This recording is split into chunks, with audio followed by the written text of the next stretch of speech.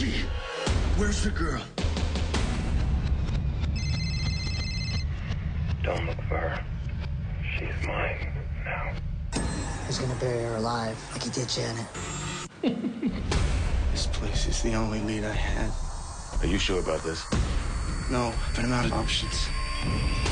Miss Faraday, I need your help.